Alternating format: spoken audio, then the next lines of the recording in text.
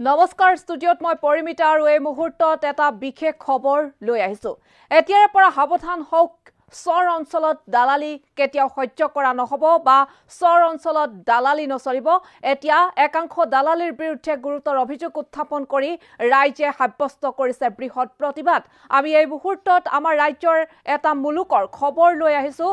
তাতে একাংশ জনতাই প্ৰতিবাদ সাব্যস্ত কৰি কৈছে যে চৰ অঞ্চলত নচলিব দালালি।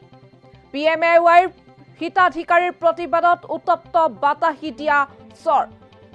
আৰু সাত মাহে হিতাধিকাৰীয়ে পি এম এ ৱাইৰ গৃহ কৃষ্টি নোপোৱাৰ অভিযোগ উত্থাপন কৰিছে আৰু এটা স্বেচ্ছাসেৱী সংগঠনৰ বিৰুদ্ধে ৰাইজে গুৰুতৰ অভিযোগ উত্থাপন কৰিছে।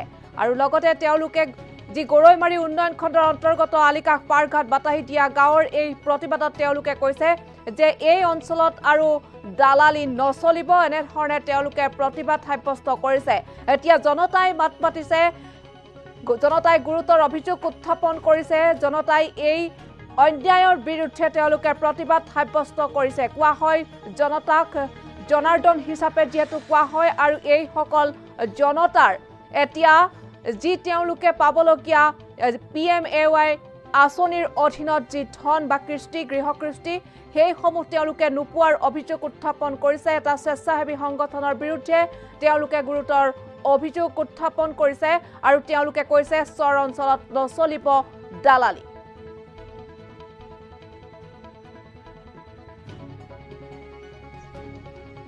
corruption go back. Go back, go back. দেশত দালালি নচলিব নচলিব, নচলিব। এটা দালালি নচলিব। আপোনাৰ দালালি কৰাত দিয়া নহ'ব। বিলাক হুঁচিয়াৰ। বিলাক। কৰপশ্যনৰ দালাল বিলাক। মাতাই কোনো ধৰণৰ দালালি কৰিব দিয়া নহ'ব।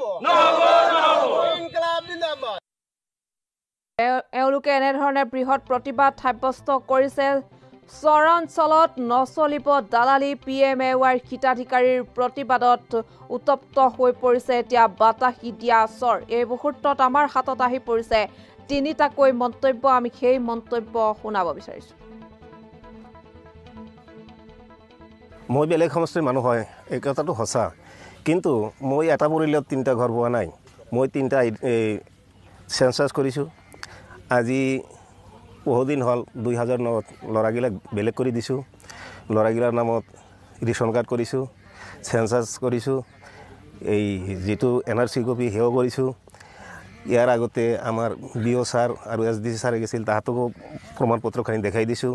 আজি আপোনালোকেও চাওক আমি এটা পৰিয়ালত তিনিটা ঘৰ পাইছোঁ না এটা পৰিয়ালত এটাকৈ ঘৰে পাইছোঁ।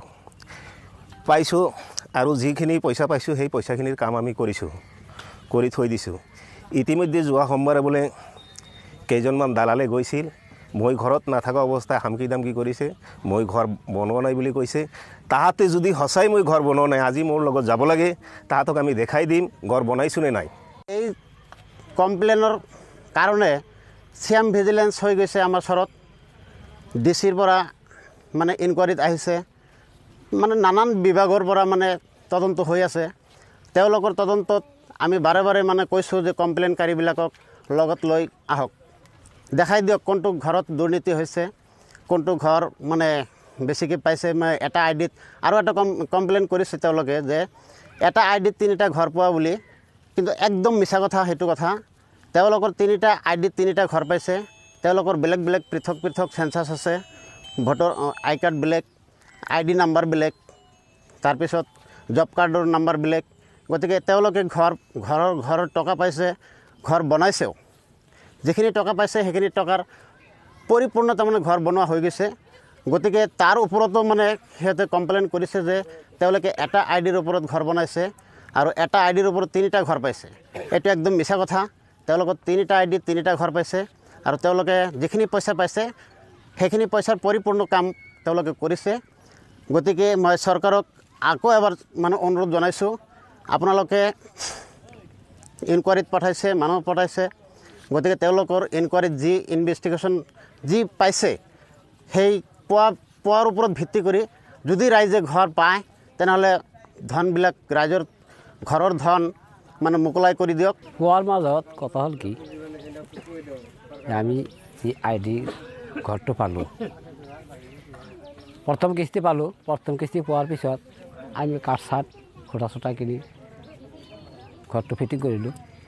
বাকী আৰু পাছত এতিয়ালৈকে খবৰ নাই। আৰু আজীৱন ছয় সাত মাহ হৈ গ'ল। কাঠবিলাক ফাটি চাটি চব নষ্ট হৈ গৈছে। এই ঘৰ পোৱাৰ আশাত আগত যি ভাঙা চিঙা ঘৰ আছিল সেই ঘৰকেইটা আমি ভাঙি চিঙি সেই ভি- ভিতৰতে আমি তাৰমানে ঘৰটো আৰম্ভ কৰিছোঁ। কিন্তু এতিয়ালৈকে আমাৰ দ্বিতীয় কিস্তি পইচা সোমোৱা নাই। ইফালে আমি থকাৰো বিৰাট হাৰাহস্ত হৈ আছে। আমাৰ পৰিয়াললৈ ধৰক ধৰক গছৰ তলে থাকিব লগা হৈছে এনেকুৱা আমাৰ পৰিস্থিতি হৈছে। সন্তুষ্ট লাভ কৰিছোঁ। তো পইচা সোমাইছে এক কিস্তি সোমাইছে এক কিস্তিৰ কামখিনি কৰিছোঁ আৰু পইচা সোমা নাই। আমি গড়খিনি কৰি থৈ দিছোঁ সা- সাত ছয় সাত মাহ হ'ল। আৰু পইচা আহিলেহে মই কাম কৰিব পাৰোঁ। সেই কাঠ চাঠ গ'লে বেয়া হৈ গৈছে খৰি খাব লাগে। এতিয়া সেইবিলাক কি কৰিম?